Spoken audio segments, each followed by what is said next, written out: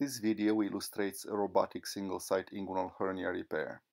Traditional robotic inguinal hernia repair is performed with three trocars situated one at the level of the umbilicus and two laterally.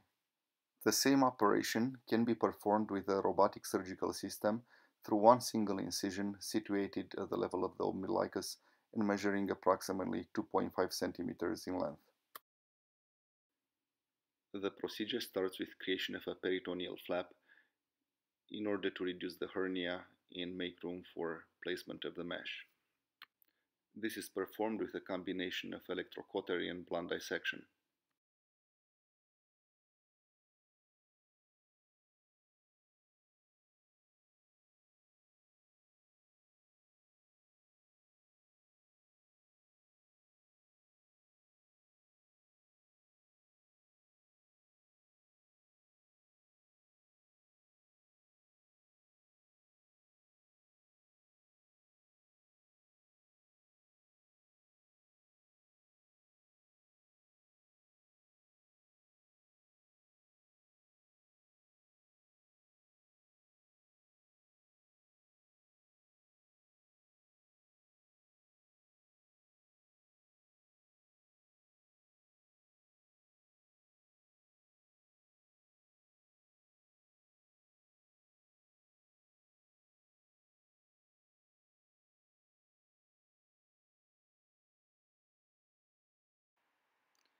We continue with reduction of the hernia sac by separating the peritoneum from the cord elements.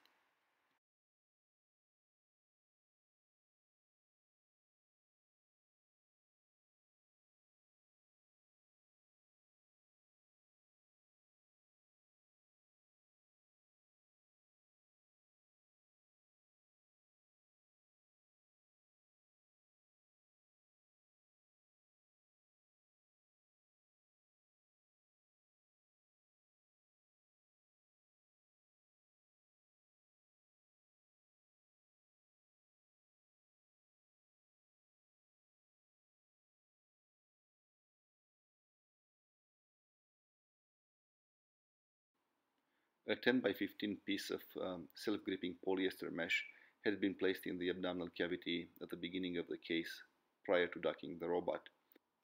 The mesh is deployed in the preperitoneal space and centered over the hernia defect.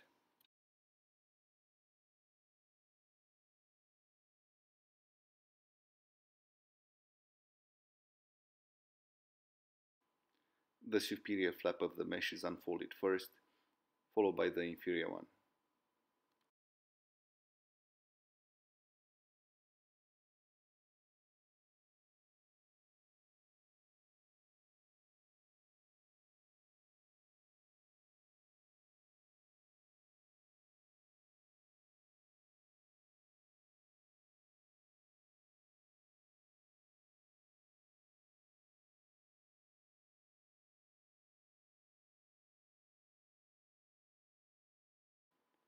Once the mesh is deployed, it covers all potential hernia spaces, including Hesselbach's triangle, the deep inguinal ring, and the femoral canal.